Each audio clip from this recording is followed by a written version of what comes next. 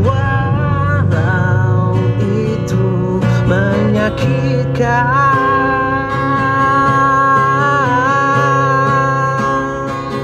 Jika menyakiti aku bisa membuatmu bahagia.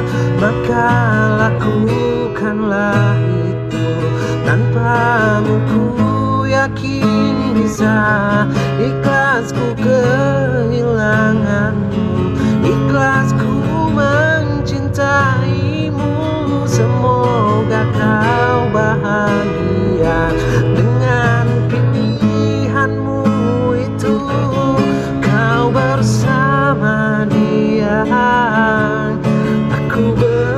bersama.